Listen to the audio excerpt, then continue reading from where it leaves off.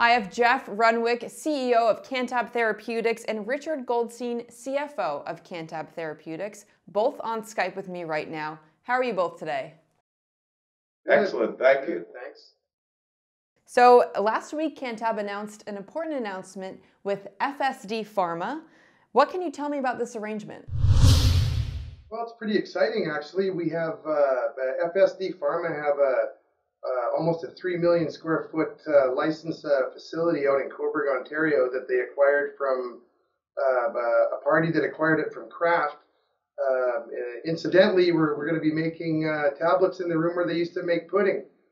cool whip, actually. Cool whip. yeah, yeah, so um, we're going to be going out there. We have some of our equipment we're taking out there. We're going to be building a, a sizable production line out there and that'll give us the ability to manufacture product both for Canada and for international markets um, uh, using um, uh, FSD Pharma's raw material or raw materials from other uh, uh people that we um, uh, buy from or license to.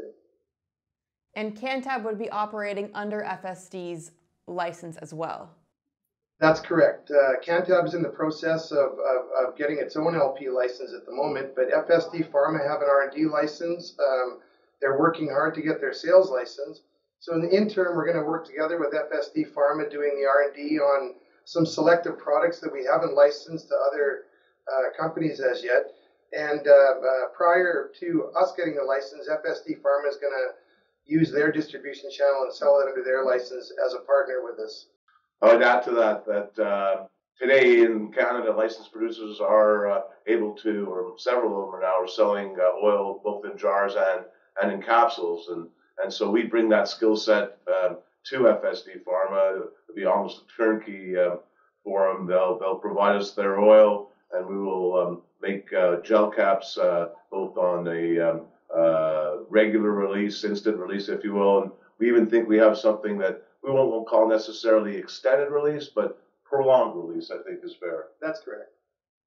So what's the timeline for, for Canntab actually getting in the facility and to start producing these gel capsules and tablets? It, interesting you asked that because we're able to uh, acquire modular manufacturing um, uh, rooms and, and given the fact the building's already built, we can almost like plunk these things down in the warehouse and uh, get them ready for good manufacturing practices. So we, we expect to be in there before the end of the year uh, doing our R and D on their their uh, raw materials. I mean, just just picture a massive building and and uh, uh, walls and columns and, and and support, but nothing built out. And rather than you know putting up drywall, et cetera, et cetera, you almost move a, a, a manufacturing facility into that shell of a space, if you will. Legalization is coming up October 17th. Do you have everything in place to prepare for that? Well, we're trying. Uh, you know, the problem that, that Canntab has right now is the tablets are still in um, uh, regulatory approval stage. And um, uh, on legalization, I don't think they're going to have the tablets already gone through their uh, regulatory parts. So, given the fact Canntab is more of a medicinally orientated company, um, you know, we're moving along our path, and legalization is going to, you know, help a lot of people and all that. But our product's more positioned to the uh, medical community. I would add that uh, to that, Jeff, that um, uh, Health Canada and the new set of rules in the Cannabis Act have um, you know opened up the door and, and and for this type of delivery mechanism. It's not approved yet, as Jeff just said, and we hope to get that approval uh, uh both with our you know products with Emblem and and, and our other products. But um, uh, at the end of the day, they've made it very clear that if we can get to what I believe they meant was a pill form, a prescription form of dose, uh, they would actually remove the 9% excise tax that's being charged on every dollar of sale, whether it be bud or oil, et cetera, et cetera.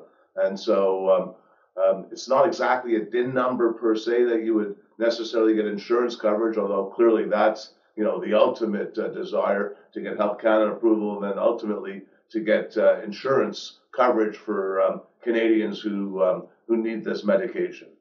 Well, it seems like a very exciting path ahead. We'll be following very closely with your arrangement with FSD Pharma and seeing how everything progresses. Thank you so much. Thanks, Christine. Thank you.